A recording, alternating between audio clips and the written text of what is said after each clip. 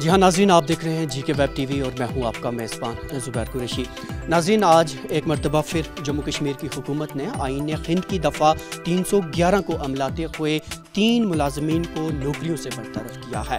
और इनके बारे में यह बताया जा रहा है कि ये अस्करी सरगर्मियों, अस्करी रवाबित और इन सरगर्मियों में मुलवस थे। आज इन तीन मुलाजमीन जिनको बरतरफ नौकरियों से किया गया है, इन इल्ज़ाम के चलते उनमें कश्मीर यूनिवर्सिटी के एक प्रोफेसर जम्मू कश्मीर पुलिस के एक कॉन्स्टेबल और महकमा तालीम के एक उस्ताद शामिल हैं।